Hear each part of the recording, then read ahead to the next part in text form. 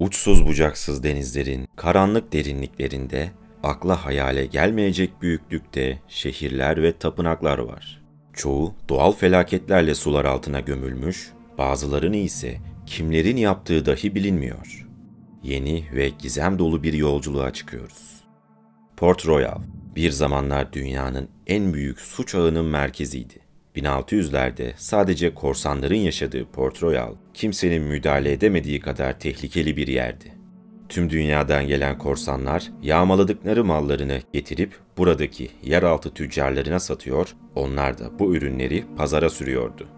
İdama mahkum olmuş suçlular, kaçaklar, katiller, her biri Port Royal'ı evleri olarak kabullenmişlerdi.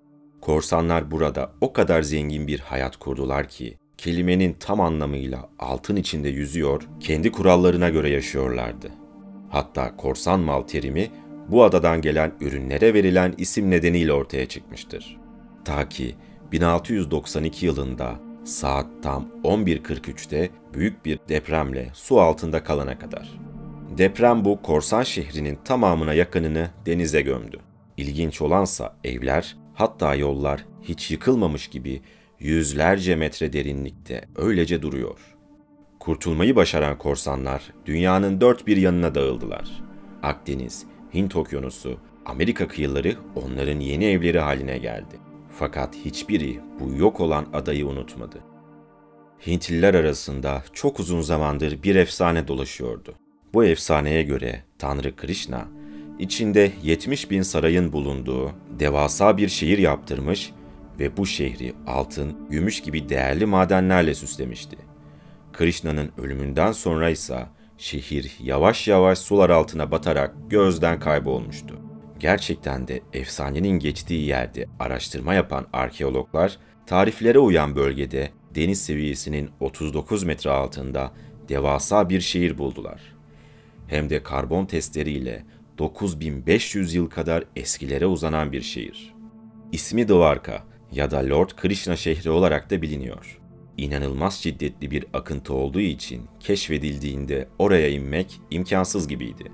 Şu an bile şehre girebilen araştırmacı sayısı bir elin parmaklarını geçmiyor. Kadim Hindistan'ın bu gizemli şehri dünya tarihine bakışımızı önemli ölçüde değiştiriyor. Öyle ki 9000 yıl önce böylesine lüks ve dev bir şehir inşa etmek benzeri görülmemiş bir şeydi. Bazı arkeologlar ülkemizde Şanlıurfa sınırlarında bulunan ve 13 bin yıl geçmişe dayanan Göbekli Tepe ile Dvarka şehrinin aynı topluluk tarafından yapıldığını ve bu kadim halk her kimse yaptıkları eserlerin insanlık tarihini kökten değiştirebileceğini düşünüyorlar. Bazı iddialarsa efsanede geçen anlatımları daha uç noktalara taşıyor. Efsane biraz garip. Özetle şöyle. Dvarka şehrinde iyi ve kötü kral arasında büyük bir savaş yaşanıyor ve kötü kral Salva uçan makinelerle şehre saldırıyor. Bu makinelerden güneş ışınlarına benzeyen silahlarla ateş açıyor ve silahlardan yıldırım sesleri gibi sesler çıkıyor. Efsanede kötü kral Salva'nın uçan makinelerle saldırması tabiri geçmesi ve 9000 yıl gibi çok eski bir tarihe uzandığı için bu kadim şehri ancak o dönemin insanları ve uzaydan gelen varlıkların birlikte yapabileceğini iddia eden araştırmacılar da var. Tabii ki bu sadece hayali bir iddia ve gerçekler Dvarka şehri ortaya çıkarılabildikçe öğrenilecek. Pavlo Petri şehri Yunanistan. Geçmişi milattan önce 2800 yılına kadar uzanıyor. Yani yaklaşık 5000 yıllık. Ama o da kimsesiz ve sessiz. Pavlo Petri bir zamanlar Akdeniz'e hükmeden, gelişen bir limandı ve halkı aslında sıradan insanlardan oluşuyordu. Balıkçılar, çiftçiler, tekstilciler, hayvan besicileri hepsi gündelik hayatta ürettiklerini gemiler aracılığıyla Avrupa ve Asya'ya pazarlıyorlardı. Kısacası huzur dolu ve mutlu bir yaşantıları vardı. Ancak günümüzden 3000 yıl önce karanlık bir gecede meydana gelen deprem onları da Akdeniz'in ılık sularına gömdü. Hem de binlerce yıl boyunca balıklar dışında hiçbir ziyaretçileri olmamacasına. Kenti her zamanki gibi alışveriş için gelen tüccarlar şaşkına dönmüşlerdi. Çünkü takip ettikleri rota her zaman izledikleri bir rotaydı. ve burada bir şehir olması gerekiyordu. Her inançta olduğu gibi doğal afetleri tanrılara bağladılar ve Poseidon'un şehri cezalandırdığına inandılar. Biz ise binlerce yıl aradan sonra o insanların gezdikleri sokakları, kullandıkları eşyaları, yaşadıkları evleri tekrar görüp nasıl bir hayatları olduğunu ve bir gece içinde yaşamları dahil her şeylerini kaybedişlerini hayal ediyoruz. Sırada ise gerçekten gizemli ve hakkındaki sorular cevaplanamamış bir sualtı yapısı var. Yonaguni piramitleri. 1987 yılında köpek balıklarını gözlemlemek için uygun bir konum ararken keşfedilen bu piramitlerin insan yapımı mı yoksa doğal oluşumlar mı olduğu hala kesin olarak netleşmedi. Bir düzen ve geometri olmasından dolayı insan ürünü olduğu aşikar. Fakat öyleyse en az 11 bin yıl önce yapılmış olması gerekiyor. Çünkü o bölge en son buzul çağından önce suyun üzerindeydi. Ve 11 bin yıl önce buzulların erimesiyle su seviyesinin altında kaldı.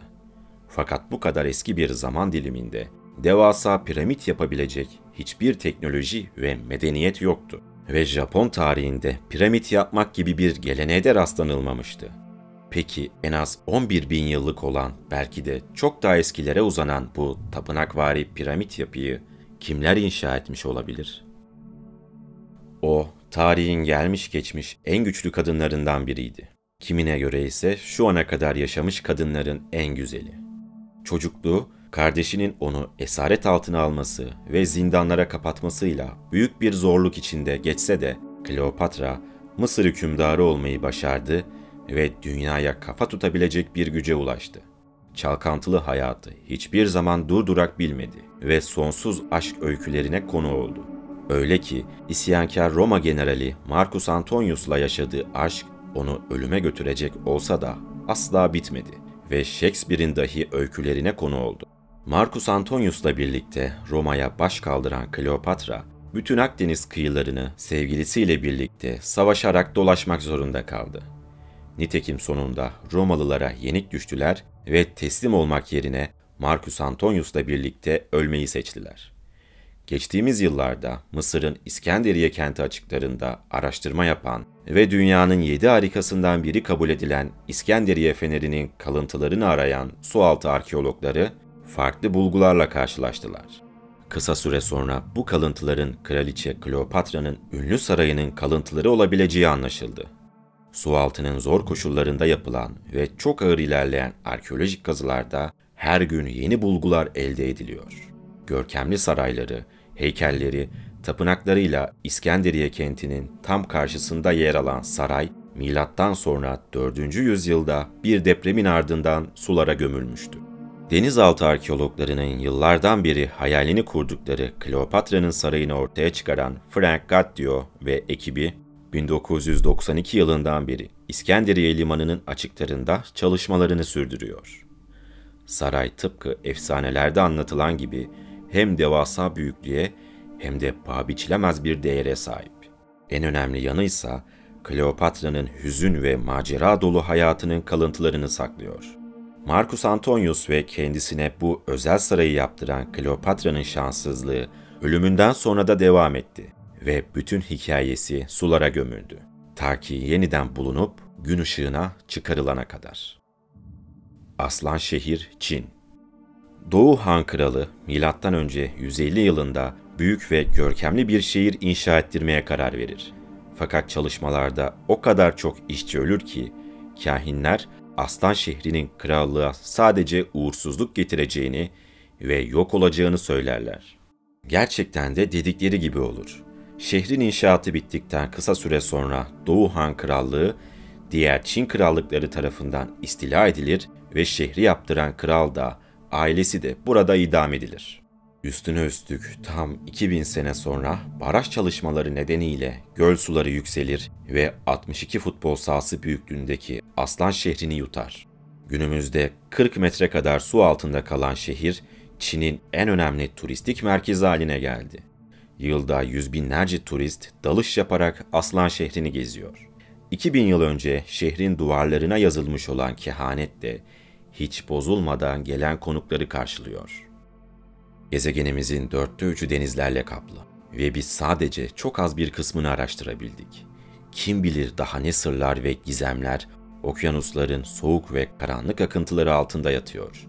Yakın bir gelecekte bilmediğimiz, belki de unuttuğumuz acaba nelerle karşılaşacağız? Bekleyelim ve görelim. Daha fazla içeriğe ulaşabilmek için kanalıma abone olabilir, bana Instagram hesabımdan ulaşabilirsiniz. İyi seyirler.